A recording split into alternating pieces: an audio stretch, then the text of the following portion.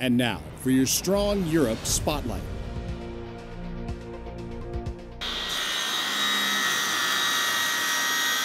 This isn't your high school shop class. It's the Training Aids Production Center, or TAPC, at Grafenwoehr Training Area.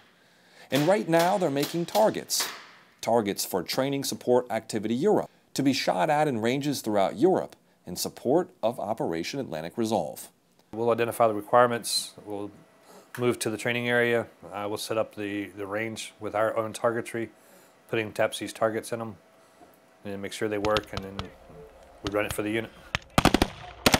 So when units like 2CR take to a range in Latvia, it's TAPC's handiwork they're targeting. For U.S. Army Europe, Matt Oldham, Grafenwoehr, Germany.